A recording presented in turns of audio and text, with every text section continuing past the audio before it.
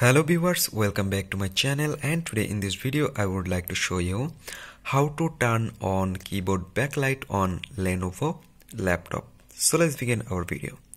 So first you need to check there you can see if I press my keyboard there have no backlight. So how can I turn on?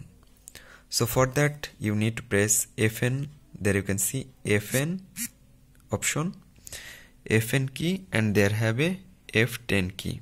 You just need to press Fn also F10 together. So there you can see I press Fn also F10 together again again again again. Now you can see your keyboard backlight already opened.